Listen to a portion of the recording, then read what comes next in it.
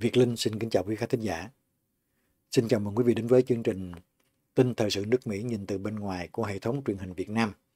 Đây là chương trình đăng trên uh, channel truyền hình Việt Nam. Hôm nay là ngày 29 tây tháng 4, ngày thứ sáu.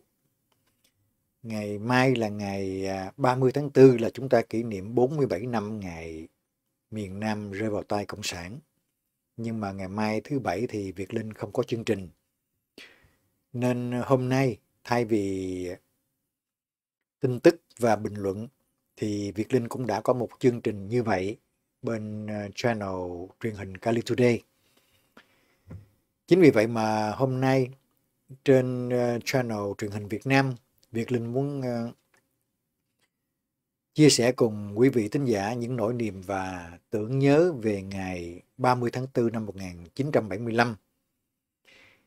Ngày 30 tháng 4 năm nay sẽ đánh dấu 47 năm ngày miền Nam rơi vào tay Cộng sản. Việt Linh xin gửi đến quý vị thính giả hai bài viết của tác giả Úc Bạch Lan và Phạm Hồng Ân trong năm nay. Kính thưa quý vị, những ngọn gió đầu hè năm nhâm dần cũng vừa chạm vào cuối tháng tư máu lệ thuở nào. Gió chưa thổi ngã nghiêng khi trời cuối xuân chớm hạ, trước những đóa hoa hồng vừa nở sau những ngày xuân kết nụ, theo quy luật xuân xanh hạ trưởng của đất trời. Những làn gió heo mây lung lay vàng hoa tường vi nở rộ dọc theo bờ rào sau nhà như những bước luân vũ dìu tôi về một vùng dĩ vãng xa xôi nào đó. Cứ mỗi độ tháng tư về, dĩ vãng đời tôi mang nhiều kỷ niệm sâu đậm, buồn nhiều hơn vui. Xót xa, đau đớn, nhiều hơn yên bình và hạnh phúc. Cũng một buổi trưa tháng tư năm đó, một tháng tư mang một cái tên định mệnh oan nghiệt. Tháng tư đen. Buổi trưa tuân lệnh, buông súng để rồi từ đó bị đôi dép râu, dẫm nát đời son trẻ. Nón tai bèo, che khuất nẻo tương lai. 30 tháng 4, ta ôm mặt khóc. Trên cầu Sài Gòn, cạnh phố Hiền Vương. Mười năm binh đao, mười ngày kết thúc. Ta còn nguyên, mà mất cả quê hương thơ của Trạch Gầm. Để rồi sau đó là những ngày dài như thế kỷ, trong bàng hoàng, lo âu, hồi hộp, đợi chờ, một thảm họa bất hạnh ập đến. Nhưng cuộc chiến chưa kết thúc, số phận chúng tôi chưa kết thúc. May mắn là không bị trói tay bịt mắt, đứng trước một hố chôn tập thể được đào sẵn. Thế rồi bỗng chốc bao đổi thay ta mang thân phận kẻ lưu đày. Đếm tháng ngày trôi trong ngục tối, nhục nhằn vạn nỗi đắng cay. Thơ của Dương Thượng Trúc Rồi những hình ảnh nhạt nhòa của tháng tư đen năm cũ lại chợt ùa về như một cơn bão quay cuồng trong đầu óc, nhảy múa với những ngày chinh chiến, cùng những người bạn đồng đội như thủ túc ngày nào đó hình như xa lắm, nhưng cứ tưởng như mới hôm qua. Bao năm rong ruổi chiến trường xa, sinh tử xem như chuyện cợt đùa. Núi thẳm, rừng sâu, lòng chẳng ngại, thì có xá gì chuyện gió mưa. Thơ của Mũ Nâu 11 Đã bao nhiêu mùa mưa gió bất chấp không gian và thời gian đã trải qua mòn gót giày chinh chiến nhưng không có mùa mưa gió nào xé nát tâm can, làm não như trí tuệ như cơn giông bão tháng tư đen năm 1975.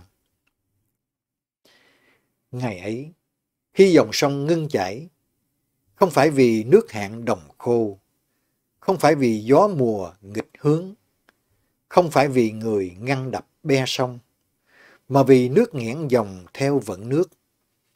Từ lệnh đầu hàng ngày cuối tháng tư. Thơ của Túy Hà Và ngày ấy chính là dấu chấm hết, không những cho cuộc đời binh nghiệp của riêng tôi, mà của hàng vạn người lính đồng ngũ đã một thời tử sinh treo đầu súng.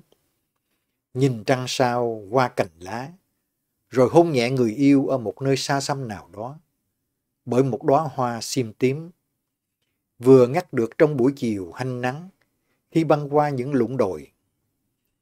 Để rồi, những đêm chờ giặt dưới trăng mơ, chợt hồn thanh thản dậy nguồn thơ.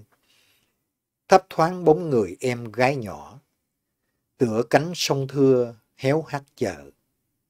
Thơ của Huy Tâm Tôi không còn nhớ đã mấy mùa tháng tư đen đã trôi qua. Làm sao nhớ được? Khi thời gian rượt đuổi tôi, khi tôi vất vả tìm cuộc sống mới, nơi xứ lạ quê người, với thân phận vong quốc, chất ngất oán hận. Có khác chi việc vương câu tiễn, đã bao nhiêu năm nếm mật nằm gai trong chuồng ngựa. Có khác chi đâu người Champa, vì hận đồ bàn, mà cất tiếng.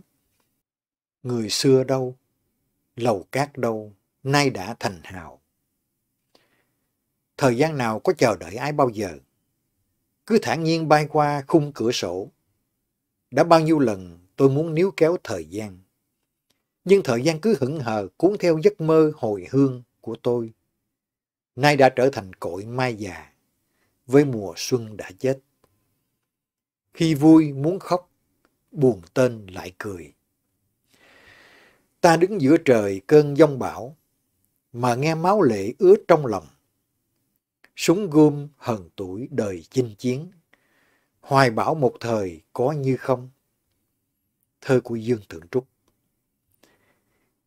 Tháng ba gãy súng, để rồi tháng tư cởi áo chinh y khoác lên mình, bộ quần áo lao tù, với những giọt lệ hồng của cao nguyên. Giọt lệ hồng, những giọt lệ pha máu, từ tim chảy xuyên qua mắt. Buốt đau theo dòng chảy, cay đắng suốt trăm năm. Tại sao có giọt lệ hồng? Nó kết tụ bởi máu và nước mắt. Từ những cái chết vì muốn bảo vệ quê hương và đồng loại. Vì muốn đối kháng với những quyền lực quỷ ám. Vì muốn giữ lại lương tri trong nghiệt cai thù hận. Ai bảo thời gian là thần dược bao giờ. Nhưng đối với tôi thì vô dược khả y ưu quốc bệnh. Căn bệnh của tôi là căn bệnh trầm kha, hờn vong quốc. Như một dấu ấn ăn sâu vào tiềm thức, khắc khoải canh thâu. Cứ mỗi độ tháng tư về, cứ mỗi năm tháng tư lại cứ về. Đã gần nửa thế kỷ nay rồi còn gì? Gặm nhấm sôi mòn, thân xác, lẫn tâm hồn. Như một vết thương tưởng đã lành theo thời gian, nhưng đến nay vẫn còn mưng mũ. Vì hữu quan nan trở mộng gia hồi. Hơn nửa đời người, vô tích sự. Trong khi quê hương mình vẫn còn đắm chìm trong bất công và áp bức. Vì lực bất tòng tâm, thì thôi đành cùng với một cọp ba đầu rằng đã cùng tôi sinh tử trong mặt trận sạc ly, nơi mà người ở lại. Sử sách ghi danh qua dòng nhạc của Trần Thiện Thanh, người ở lại sạc ly. Mũ nâu 11 Dương Thượng Trúc Đã một thời đời lính chiến trường, đời thường biệt xứ. Ngày xưa cầm súng, ngày nay cầm bút đã viết rằng 47 năm đã trôi qua. Từ dạo tháng tư đau buồn ấy, thời gian hầu như bào mòn sức lực bao lớp người trẻ tuổi, trưởng thành trong ba thập niên 30, 40 và 50 của thế kỷ trước. Thời gian cũng nhuộm trắng những mái đầu xanh với bao hoài bão, ước mơ cao vời. Và thời gian cũng đã làm nhạt nhòa những tia mắt rực sáng, niềm tin yêu, tràn đầy nhựa sống. Nhưng có một điều mà đến nay thời gian vẫn hoàn toàn bất lực. Đó là xóa mờ nỗi đau trong lòng của những người dân miền Nam nói chung và những người đã một thời cầm súng bảo vệ quê hương nói riêng. Mỗi độ tháng tư về, như một ai đó đã nhận định, mỗi người Việt Nam là một thi sĩ, quả không ngoa chút nào. Chỉ cần vài ba câu cách kết hợp vần điệu đã quá quen thuộc trong ca dao tục ngữ, thì người viết đã phần nào nói lên được cảm xúc của mình. Và thơ thì thiên hình vạn trạng, chất chứa đầy cảm xúc. Mỗi bài thơ mang một tâm tư khác nhau. Như người phi công Phạm Tương Như mới vừa hôm qua đã xuất khẩu thành thơ. Còn nguyên nghĩa khí ngất trời, chờ ngài nối lại nhịp đời lính xưa. Hay như cô em văn nghệ song thi an ủi rằng, không thất trận những anh hùng khí phách, giọt lệ hồng cười khóc những nát tan. Khi nghe lệnh, lệnh buông súng đầu hàng, cười kẻ phản bội, khóc tàn binh cuộc. Đất khách quê người xa lạ, vạn người quen có mấy người thân đây? Thân thì kẻ nam người Bắc, kẻ đông người Tây, nghìn trùng xa cách. Gặp gỡ thăm viếng nhau là một điều hiếm hoi. Ở đây, người ta chạy đua với thời gian, đeo đuổi gia tốc theo cuộc sống, vật chất xô bồ, thiếu tình người. Còn tôi, tôi vẫn là tôi, vẫn là người lính đa tình. Tình non sông rất nặng. Có những buổi chiều ngồi lặng im một mình dưới bóng râm cây anh đào vườn sao. Tôi vẫn mong một tiếng gì như tiếng ầm vang của bể. Tôi vẫn mong ngọn gió đông phong ào ạt thổi vào sông xích bích. Thiêu rụi lũ giặc Hán Giang, kẻ đã làm cho tháng tư tổ quốc phủ màu tan, dân tộc thương đau oán hận tràn. Tuổi phận nam nhi đời lữ thứ, vời trong quê mẹ lệ chứa chan. Của Dương Thượng Trúc Tháng tư năm nay, rồi cũng như 46 lần tháng tư đã trôi qua trước đây, cũng như dòng sông cứ lặng lờ trôi xuôi ra biển. Dòng sông oan khiên đó sẽ chảy mãi thành dòng sử đen, như vết chém mãi còn rỉ máu, như vành khăn tan mãi trắng theo dòng lệ đứt nở, trên đầu con cháu lạc hồng. Dòng chảy oan khiên không bao giờ ngưng tụ, đóng băng, hóa đá hay cản ngăn bởi vô tri vô giác.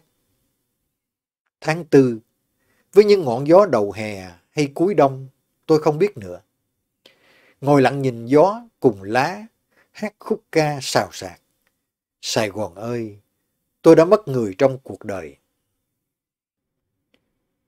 Trích từ bài thơ Hờn Vong Quốc của nhóm thân hữu Úc Bạch Lan.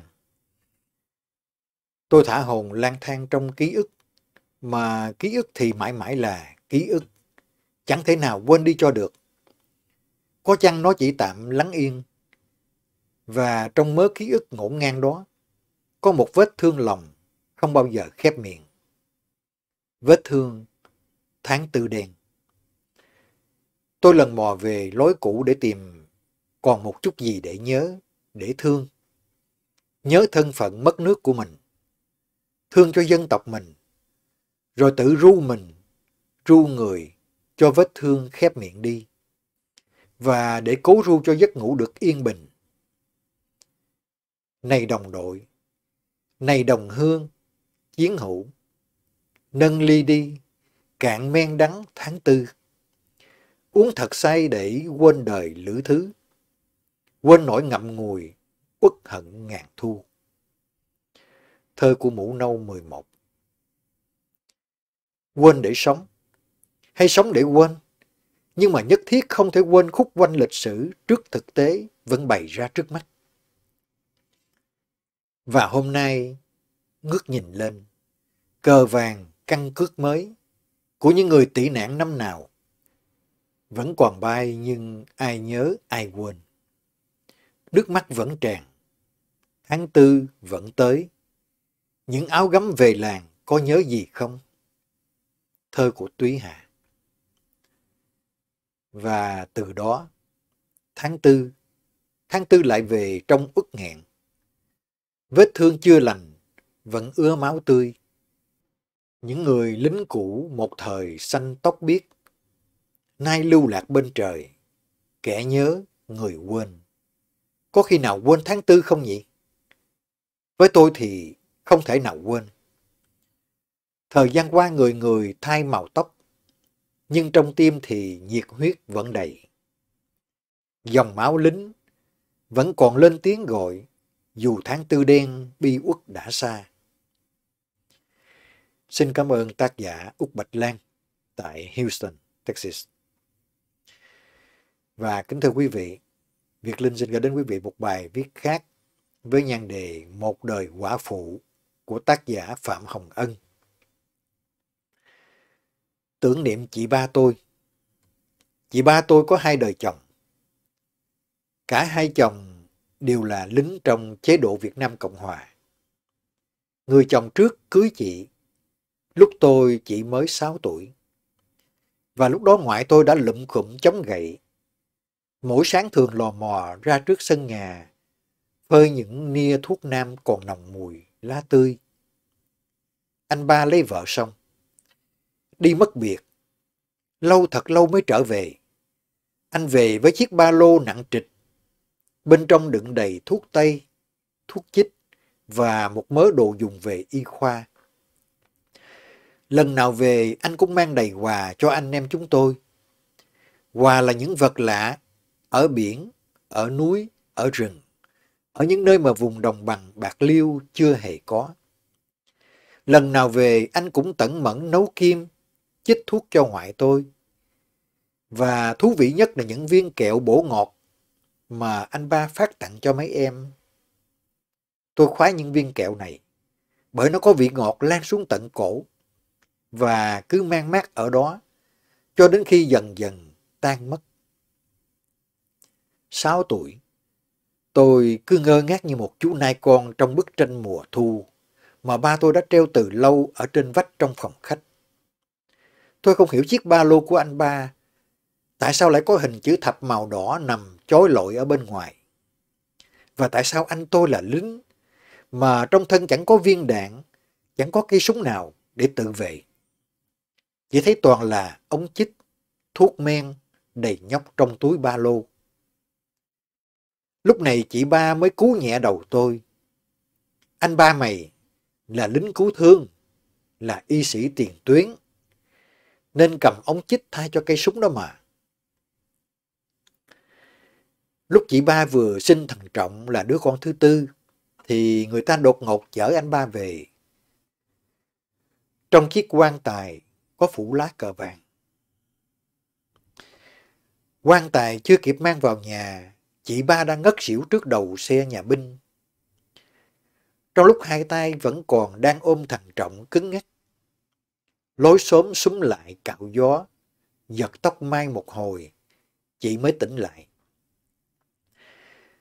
Chị tỉnh lại rồi nhưng còn thất thần, mặt lơ lơ láo láo, như người điên. Chị quơ tay múa chân một hồi, rồi nhào vào chiếc quan tài, gào khóc thảm thiết cho đến sáng hôm sau. Anh ba mất.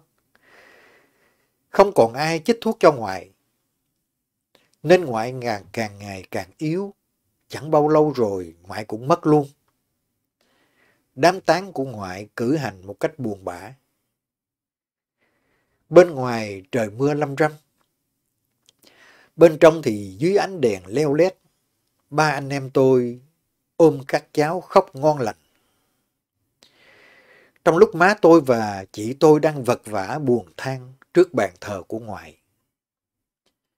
Chồng mất, chị ba tôi cô đơn, sống khổ nhọc nuôi bốn đứa con trong thời gian thật dài. Sau đó chị mới có được một mối tình với một người khác. Và người chồng sau của chị cũng là một quân nhân Việt Nam Cộng Hòa. Anh là một tay trinh sát có tiếng của một trung đoàn thuộc sư đoàn bộ binh 21. Hai người thương nhau, chẳng bao lâu thì cưới nhau. Đám cưới xong, anh trinh sát dẫn chị ba và bốn đứa cháu về Chương Thiện để sinh sống. Chương Thiện là quê của anh và cũng là căn cứ của sư đoàn 21. Và cũng chẳng bao lâu, anh ba thứ hai của tôi cũng ngã gục trong một trận chiến ở Hòa Lũ. Thế là chị ba tôi lại phải trùm khăn tang một lần nữa, xỉu lên xỉu xuống trước quan tài của chồng. Thằng Lộc, đứa con đầu tiên của chị lớn lên như thổi. Nó vừa đậu tú tài một, liền sung phong vào lính, nhất quyết rửa thù cho cha. Từ trung đội trưởng lên đại đội trưởng chỉ trong vòng một năm. Nó đánh Nam dẹp Bắc. Quân thù nghe tiếng, chưa đụng trận đã vội hồn siêu phách lạc. Nhưng mà rủi thay, 30 tháng 4 vội đến. Thằng Lộc không chịu buông súng đầu hàng. Nó cương quyết dắt đại đội vào tận đồng sâu mai phục, chờ dịp may trở về chương thiện để lấy lại thành phố. Nhưng mà đau đớn cho thằng Lộc. Quân thù biết được nên đã thả nội tuyến vào đại đội. Và kết cuộc thì cả đại đội bị chúng bắt hết vào tù. Một thời gian sau, thằng Lộc bị chúng đưa ra sân vận động Cần Thơ xử bắn. Chị ba tôi lại đau đớn gào khóc thảm thương trước di ảnh của hai người chồng thân yêu và người con ruột thịt. Mặc cho chính quyền hiện tại phản đối, mặc cho các cơ sở công an địa phương trù dập. Chị ba tôi lặng lẽ lập bàn thờ để thờ những người thân yêu đã gục xuống bởi kẻ thù. Cả ba tấm hình đều mặc quân phục của người lính Việt Nam Cộng Hòa. Cả ba người đều uy nghi. Tuy mang dấu ấn của bên thua cuộc, nhưng mà dường như họ không bao giờ chịu khuất phục. Hôm nay trên bàn thờ có thêm di ảnh của chị ba. Chị là một người chị bất hạnh, suốt đời chưa được dịp may mắn. Tôi biết chị là một trong những quả phụ đau khổ nhất thế gian này.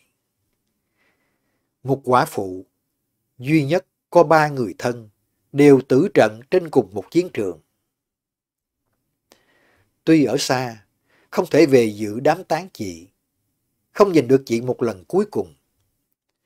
Tôi đành mượn tạm muôn nẻo đường đời này để viết vài dòng về chị. Một người chị đáng tôn kính và thân yêu của tôi. Tác giả Phạm Hồng Ân Xin cảm ơn tác giả. Việt Linh xin chia sẻ cùng quý vị thính giả nỗi buồn về một ngày của tháng tư đen. 47 năm đã trôi qua. Chỉ biết nói như vậy thôi. Xin cảm ơn tất cả quý vị và xin chia tay cùng quý vị. Xin cảm ơn.